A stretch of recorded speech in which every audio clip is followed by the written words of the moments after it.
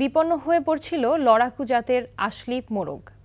যে কারণে হারিয়েই যাচ্ছিল আবহমান বাংলার ঐতিহ্যের মোরগ লড়াই। তবে আসার কথা কৃত্রিম প্রজননের মাধ্যমে এই মুরগির সংরক্ষণ ও জাত উন্নয়নে নতুন করে গবেষণা শুরু করেছেন দেশের বিজ্ঞানীরা। উদ্দেশ্য, হারানো ঐতিহ্যকে ফিরিয়ে আনা। বিস্তারিত জাহিদুর রহমানের রিপোর্টে। দেশে গ্রামীণ বিনোদন আর ঐতিহ্যের সঙ্গে মিশে আছে মোরগ লড়াই। যোদ্ধা বা লড়াকু এই মোরগগুলো জেসে মোরগ নয়।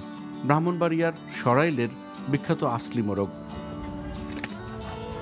বিরূপ প্রতিবেশ ও প্রতিপালনের অভাবে বিলুপ্তির পথে এই মোরগ।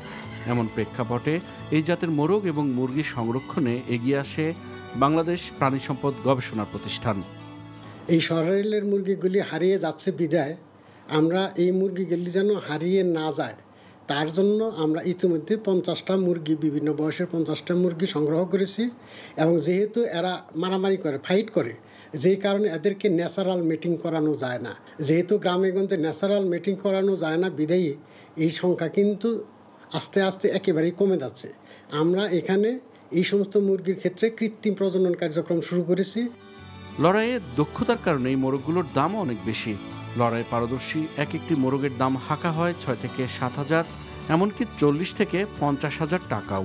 বাণিজ্যিক এই সম্ভাবনাকে কাজে লাগাতে উদ্যোগ নেওয়া হয়েছে মোরগের জিন অক্ষুণ্ণ রেখে জাত উন্নয়ন ও সংরক্ষণের।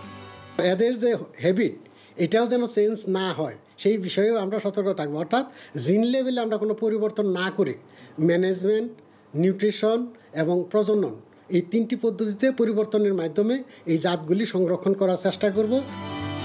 বিজ্ঞানীদের এই গবেষণা বাণিজ্যিকভাবে আসলি মোরগের খামার তৈরিতে ছড়াচ্ছে সম্ভাবনার আলো। ব্রাহ্মণবাড়িয়ার সরাইলের বিখ্যাত এই ফাইটার মুরগি রক্ষায় বিশেষ পদক্ষেপ নিয়েছেন এখানকার বিজ্ঞানীরা। Jahidur Rahman NTV news Savar Dhaka.